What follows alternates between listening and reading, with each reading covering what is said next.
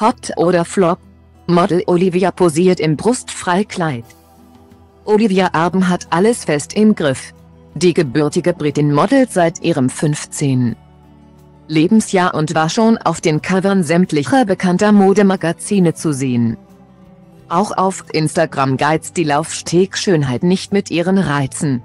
Doch bei den Fashion Awards in London wollte Olivia offenbar besonders viel Aufmerksamkeit erregen, hier trug sie ein Kleid, das ihre Oberweite unbedeckt ließ.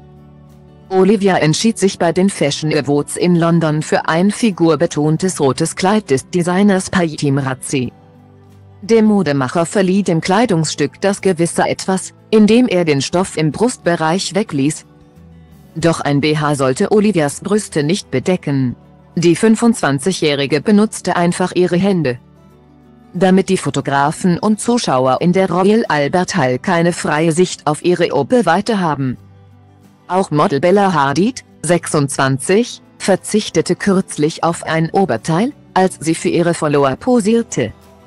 Die 26-Jährige zeigte auf Instagram Fotos, auf denen ihr Oberkörper lediglich mit einem langen, geflochtenen Zopf bedeckt ist. Mit den Schnappschüssen wollte die Schwester von Gigi Hadid, 27, auf ihre neue Kollektion hinweisen